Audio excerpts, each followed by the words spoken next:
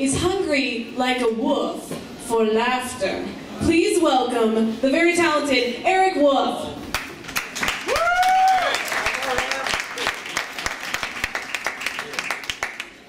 Yeah. Woo!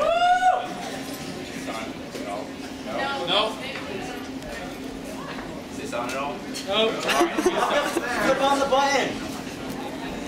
Hello. Oh, okay, good. So uh, I'd like to start off with a quick survey. Is anyone here from uh, from New Jersey?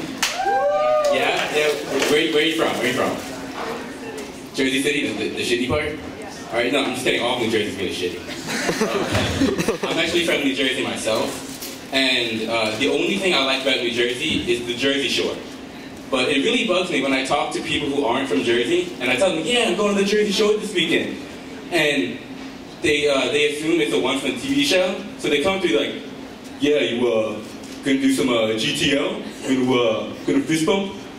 So I just say, "Fuck that! I'm gonna build a sandcastle."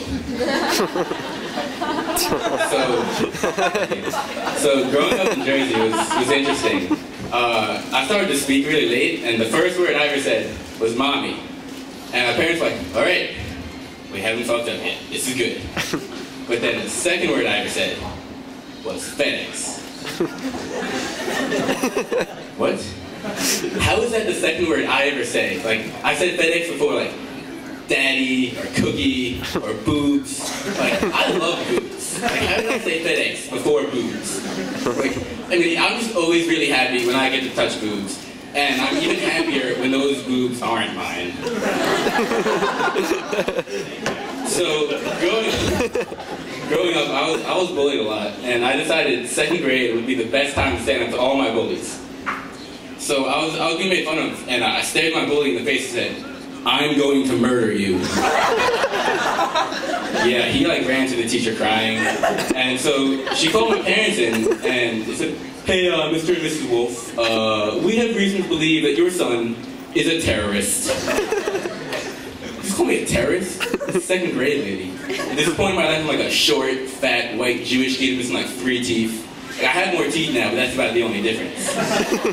and like even as a second grader, I knew this was just like ridiculous to call me a terrorist. I mean, so, so I just blew up the school.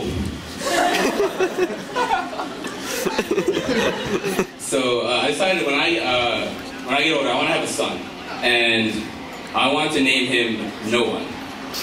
Uh, because if, if I ever get into an argument with him, I will never lose, ever. He'll come up to me and say, Dad, I, uh, I think we should vote uh, Rick Perry for president. Well, first of all, I, I would just disown my son if that ever happened. but then I can just respond saying, Son, your opinion doesn't matter. You're no one. come up to me and say, Dad, I want to go up with the field hockey team. Like, no one likes field hockey. or, Dad, was I adopted? No one was adopted.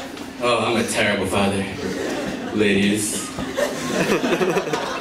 so I've noticed there's a lot of really weird people here today. Like I love it here. There's just a lot of weird people. And uh, I was talking to my RA, and she was telling me how the girls on the other side of my floor, there was an issue with, uh, them pooping in the shower. Uh, true story. So, like, why? Like, I know I like to relax in the shower. But this is taking it a little too far. Um, maybe she wanted a water massage while she's pooping. It's a lot harder to do in the toilet. It's possible, it's a lot harder to do. So, I'm thinking, like, why, why would she do this? So, this is the scenario that I came up with. So, girl walks in the bathroom. Man, I got to poop. Those two toilets over there are open. So is the shower. That's all I got for you guys. Thanks.